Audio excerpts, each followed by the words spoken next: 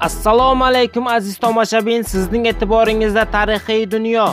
Olimlarning fikricha Amerika qit'asiga dastlabki odamlar Shimoliy Osiyodan hozirgi Bering bo'g'ozi orqali buyuk muzlik davrida bundan 40 ming yil avval o'ta boshlagan va bu jarayon uzoq davom etgan. Natijada bu yerlarga yevropaliklar kelguniga qadar ham ko'p sonli qabila va elatlar shakllangan. Bu qabilalarning asosiy qismi ovchilik va baliqchilik bilan shug'ullangan. Ammo Markaziy va Janubiy Amerikaning tog' va tog' oldi hududlarida dehqonchilik xo'jaligi vujudga kelib, keng taraqqiy etgan. Bu hududlarda Kechua, Maya, Aztek, Olmek va Tolteklar yashagan.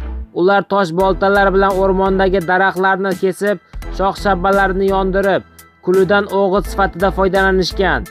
Bu yerlarda yevropaliklarga ma'lum bo'lmagan makka jo'xori, kartoshka, kungaboqar, pomidor, kakao, tamaki ekinlar o'stirilgan. Amerikaning katta qismida xonakilashtirilgan hayvonlar bo'lmagan. Ot, sigir, qo'y va echkilar qit'aga keyinchalik Yevropadan olib kelingan. Ular uy hayvonlaridan shimolda itni, janubda tuyasimon lamani boqishgan. Parandalardan kurka va o'rdak saqlangan. Temir, omoch, g'ildirak, o't ochar qurollarni amerikalik hindular bilishmagan. Ularning mehnat va ov qurollari tosh, jez va yog'ochdan yasalgan. Aholining katta qismi urug'chilik jamoasida yashagan. Faqat dehqonchilik bilan shug'ullangan Maya, Aztek va kechuvalar o'zlarining davlatlarini barpo qilganlar. Mayalar davlati Markaziy Amerikaning Yukatan yarim orolida, hozirgi Meksika, qadimdan Maya xalqlari yashab kelgan. Milodiy 1000 yillikda Mayalarda shahar davlat vujudga keladi. Ularning har birini buyuk kishi hukmdor boshqarib, uning hokimiyati merosiy bo'lgan. Azteklar davlati Markaziy Amerikaning hozirgi Meksika hududida joylashgan.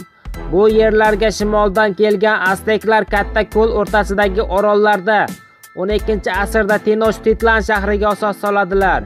Ular sun'iy to'g'onlar bunyod etishgan, ibodatxonalar va saroylar qurishgan. Azteklarda yer taqchil bo'lganidan ko'l tagidan suv o'simliklari va unumdor loyni ko'tarib, Cho'llarda suzuvchi dalalar ham yaratganlar. Bu o'ziga xos ekinzorlardan yiliga bir necha marta hosil olingan. Azteklar urug' jamoa bo'lib yashaganlar. Jamoa boshliqlari saylab qo'yilgan. Ekin maydonlari jamoa a'zolariga taqsimlab berilgan. Hukmron qabila vakillaridan Tlatoani lashkarboshi saylanib, u oliy hukmdor bo'lishdan tashqari bosh kohin vazifasini ham bajargan. Azteklar xo'jaligining asosi sug'arma dehqonchilik bo'lgan. Eng muhim ekin makka jo'xori bo'lib, undan mo'l hosil olingan. Azteklarda hunarmandchilikning kulolchilik, to'qimachilik, mis va oltindan zargarlik buyumlari yasash sohalari yaxshi rivojlangan. Ayni paytda ular madanlarni bilishmaganligi sababli bolta va pichoqlarning toshdan yasalishi davom etgan. Zargarlar qimmatbaho toshlarga ishlov berib, qadalma naqshlar, mozaika yasab, saroy va ibodatxona devorlarini bezashgan. Aztek hunarmandlari ayniqsa naqshin idishlar, ajoyib gazlamalar, qo'shpatlaridan tovus kabi tovlanadigan kashtalar tikishda mohir bo'lganlar. Quruvchilar to'g'onlar, kanallar qurishib, xom g'isht yoki toshdan yasalgan ustunlar ustida uylar bunyod etganlar. Bozorlarda mol ayirboshlash orqali savdo yaxshi rivojlangan.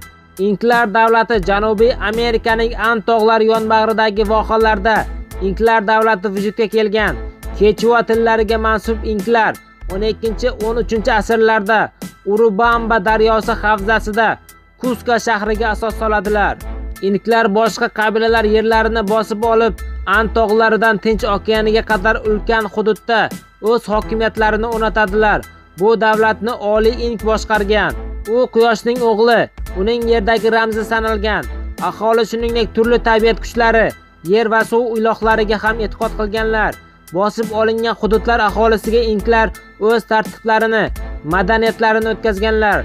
Natijada dastlab qabila nomi bo'lgan Ink atamasi hukmron toifa zodagonlarning umumiy nomiga aylangan. Inklardan bo'lmagan aholi jamoa bo'lib yashab, hukmron toifa uchun ishlagan.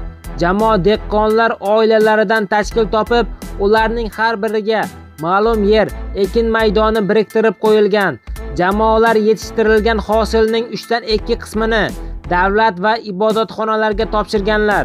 Mamlakatda rasman qulchilik bo'lmasa-da, jamoa a'zolari shafqatsiz ishlatilgan va deyarli huquqsiz bo'lgan. Tog'li hududlar dehqonchilik uchun noqulay edi. Natijada jamoa erkaklari tik qoyalar yonbag'rini o'yib, toshlarning ustiga unumli tuproq yoyishgan. Bunday ekinzorlarning tuprog'ini yomg'ir yuvib ketmasligi uchun atrofi tosh devorlar bilan o'rab chiqilgan. Dehqonlar shuningdek qovoq, paxta, ananas, banan ham yetishtirganlar. Yetishtirilgan hosil uchga, bir qismi ibodatxona kohinlari, ikkinchi qismi oliy intga berilgan, uchinchi qismi esa jamoaga qoldirilgan. Davlat omborlaridan to'plangan oziq-ovqat mahsulotlaridan qo'shin va amaldorlarga berilgan. Urushlar, hosilsizlik yillari yoki turli tabiiy ofatlar paytida barcha jabrlanganlarga davlat zaxirasidan makka doni va quritilgan kartoshka tarqatilgan.